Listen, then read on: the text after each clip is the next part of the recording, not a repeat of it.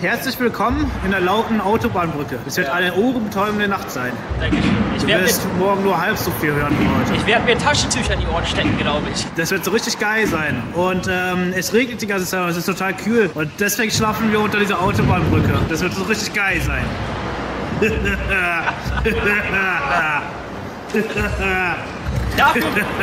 Mein Bruder hat sich schon im Schlafsack eingebuddelt.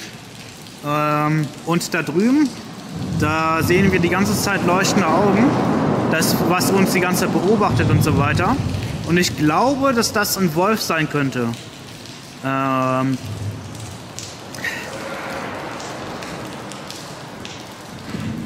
aber in letzter Zeit wurde hier in Bremen öfters ein Wolf besichtigt. Und äh, genau, das könnte vielleicht ein Wolf sein, der uns die ganze Zeit hier anguckt.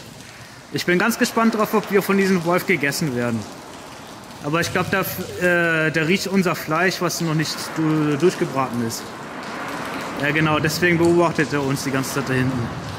Und ich sehe, beziehungsweise wir beide sehen die ganze Zeit diese reflektierten Augen, die hin und wieder, die die ganze Zeit zu uns beobachten und äh, manchmal wieder weggehen und dann wieder herkommen und uns beobachten.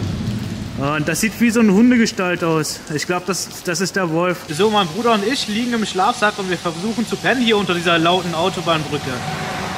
Die ist so richtig laut. Die macht die ganzen viel Geräusche. Man ist auferstanden.